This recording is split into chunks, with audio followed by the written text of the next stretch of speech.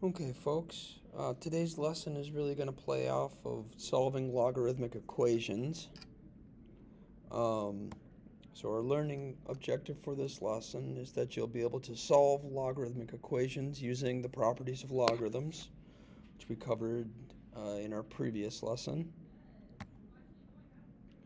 Okay, and so we're just going to kind of jump into some examples here. I've got a lot of examples in this video. Um, and uh, I just want to give you kind of a sense of the breadth of different problems that could come up on today's assignment. So on this first page of examples, we've got two logs that are set equal to one another, and in all of these examples, the bases are the same. So if you have two logs that are equal to one another, and those logs are the same base, what that means is that the inside of those log functions are equal to each other. So if we look at this first example where we say log base 3 of x equals log base 3 of 7, that just means that x equals 7. And there's nothing else to do for this one because we've already isolated the variable x, so we can just say that x equals 7. This is a pretty simple, straightforward example.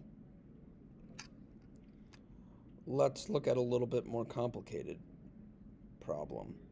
Um, so now we're going to say log base 5 of 2x plus 1 equals log base 5 of 15. So again, we'll set the inside of those logs equal to one another.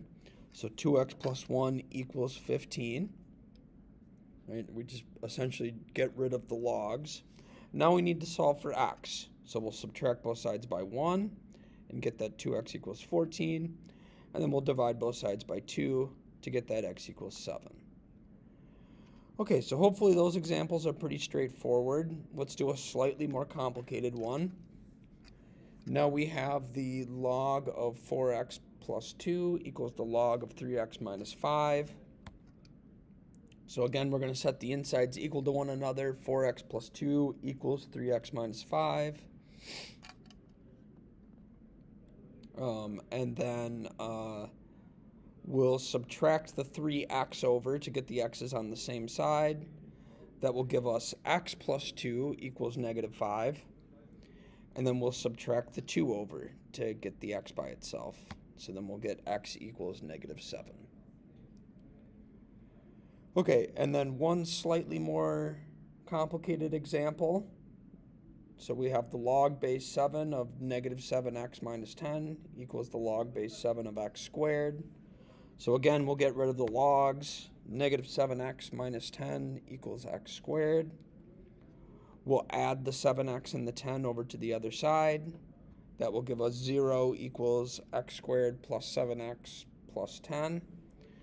Now, this is one maybe we haven't seen, um, we haven't solved the quadratic equation in a while. This is one where you have to factor, or you don't have to factor. You could solve it with quadratic equation or completing the square if uh, that's what you prefer. I would solve this one by factoring. So this will factor into x plus 2 times x plus 5. If you don't remember why that is, it's because 2 times 5 equals 10 and 2 plus 5 equals 7. So that's why this one will factor that way. And then we'll set each of those equal to 0 individually. So 0 equals x plus 2, 0 equals x plus 5, so then we end up with x equals negative 2 and x equals negative 5 as our two solutions to this problem. Okay, so that's our first page of examples. Um, next page, they're going to be a little bit more complicated. Although, actually, these are all ones that you guys saw in our last unit. Um, saw a lot of problems like this in our last unit. So, um, this shouldn't be too difficult for you. It's very similar to what we did in the Richter scale problems. So if we look at this first example, we have log base 4 of 2x plus 7, and that equals 10. And so in our first example here, what we're really going to do is try to isolate the log and then rewrite it as an exponent. So the first thing I'm going to do is subtract 7 from both sides.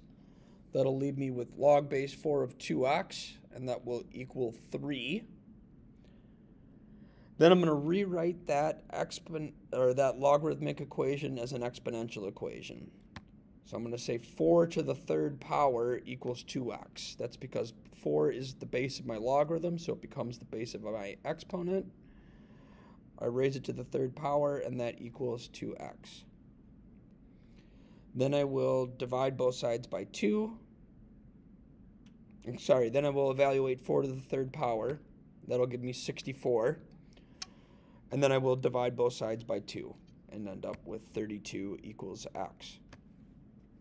My next example is very similar, um, but because this is 4 times the log base 6, I'm going to start by dividing by 4. So I'll divide both sides by 4. 15 divided by 4 is 3.75. Then I'm going to rewrite my logarithm as an exponential. So 6 to the 3.75 equals negative 3x plus 2.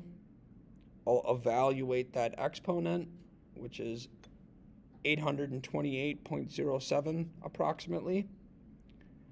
Then I'm going to solve for x. So I'm going to subtract by 2 on both sides, get 826.07 equals negative 3x.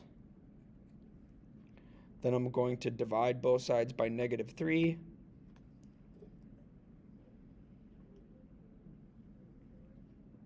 and we'll get negative 257, excuse me, negative 275.3568 if we're rounding to the nearest thousandth. Okay, and then one more example like that. This one is going to have two steps to get the log by itself. So first I'm going to add 6 to both sides. That will get me 5 log of 4x plus 2 equals 17. Then I'll divide both sides by 5 log of 4x plus 2 equals 3.4. Now I need to rewrite this as an exponent. Remember that if there's no log, or sorry, excuse me, no base on the log, then the base of the log is 10. So this is going to be 10 to the 3.4 power equals 4x plus 2.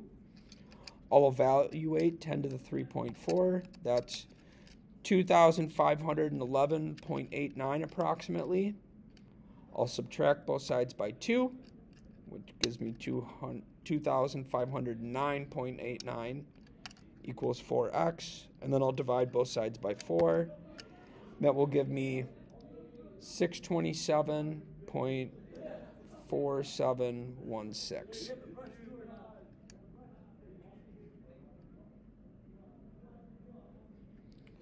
Okay, so hopefully that all seems pretty straightforward things are going to get a little bit more complicated now because now we're going to have to use some properties of logarithms to solve these logs. Now, I think the only properties that these problems have you use are the addition and subtraction properties. So you won't have to use the power rule, and you won't have to use um, the logarithm of 1 rule. Um, you just have to use the addition and subtraction property. And so remember that if you're adding two logs together, if you want to combine them into one log, you have to multiply what's inside. So 4 times x is 4x. 4 times 3 is 12. So I'm ending up with my left side being simplified to log base 8 of 4x plus 12. Now I have a log base 8 on both sides. So just like on the first um, set of slides, we can get rid of the logarithm. So we can say 4x plus 12 equals 10. Then I will subtract both sides by 12, and I'll get negative 2. Or I'll get 4x equals negative 2. Then I'll divide both sides by 4, and get x equals negative 0.5 or x equals negative 1 half. Okay, so that's when we're adding two logarithms. What if we're subtracting two logarithms? Well, now we're going to use um, the subtraction of logarithms property. So I'll end up, if I take 9x divided by 3, that's 3x. So this will end up being the log of 3x. And then that's equal to the log of 15. Again, I can get rid of my logs now, so I get 3x equals 15. And then I can divide both sides by 3 to solve for x to end up with x equals 5. Okay, um, let's do a little bit more complicated. Now we don't have logs on both sides. One side is just a number. Again, we're going to start by combining our logarithms. So remember that if we're adding two logs, that's the same thing as multiplying what's on the inside. So 5x times 6 is 30x. So this will combine to equal the log base 9 of 30x, and we're setting that equal to 4. At this point, we can rewrite this logarithm as an exponential. So it's going to become 9 to the 4th power equals 30x. 9 to the fourth power evaluates to 6,561, and that equals 30x. So now I'm going to divide both sides by 30, and I'm going to get 218.7 uh, will equal x. Okay. Um, and then in the next problem, I'm subtracting, so I'm going to rewrite this as division. So this is going to be rewritten as the log base 2 of x minus 7 over 9, and that equals 8. Now I will rewrite that logarithm as an exponential, so that'll become 2 to the 8th power equals x minus 7 over 9.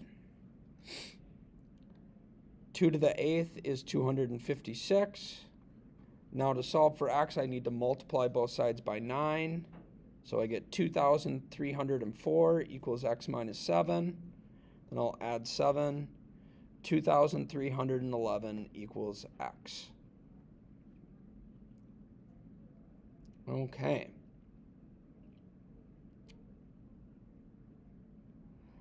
Um, so that's where we are there. Last page. These ones are a little bit more complicated examples.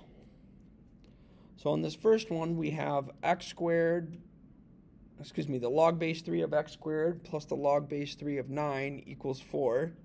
So again, I'm going to use my properties of logarithm to combine them. So this is going to become log base 3 of 9x squared equals 4. Now I put the 9 in front just because that's the way polynomials are normally written. But if you wrote x squared times 9, that's technically correct too. It's just this is normally the way this expression would be written in a textbook. Now I'm going to rewrite my logarithm as an exponential. So 3 to the 4th power equals 9x squared.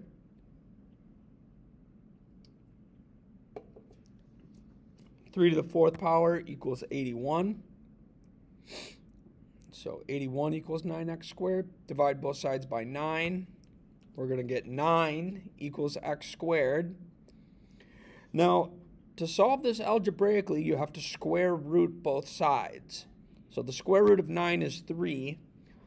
But remember that in algebra, when you square root both sides, you get one positive answer and you also get a negative answer. So we get x equals 3. We also get x equals negative 3 because negative 3 times negative 3 also equals 9. So we get two answers when we solve this problem. Um, okay.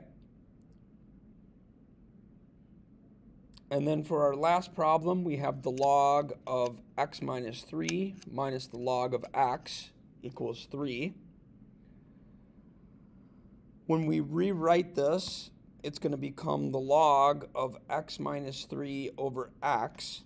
equals 3. So we're using the subtraction property to write that as division. Remember that if there's no base on the logarithm, that means your base is 10. So this will rewrite as 10 to the third power equals x minus 3 over x. And 10 to the third power evaluates to 1,000. So 1,000 equals x minus 3 over x.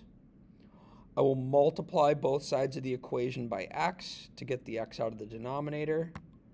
So then I get 1000x equals x minus 3. Now I need to get all my x's on the same side of the equation, so I'm going to subtract that x over, and I get 999x equals negative 3. And then I will divide both sides by 999, and that gives me x equals negative 0.003. Um, okay. Uh, let me know if you have any questions.